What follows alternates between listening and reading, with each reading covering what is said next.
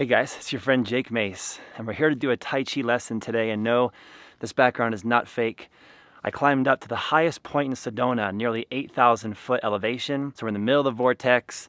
We got the most beautiful background behind us showing those red mountains. If you can, get some space, stand up, practice these Tai Chi movements with me. During each movement, breathe very deeply and follow the instructions on the screen.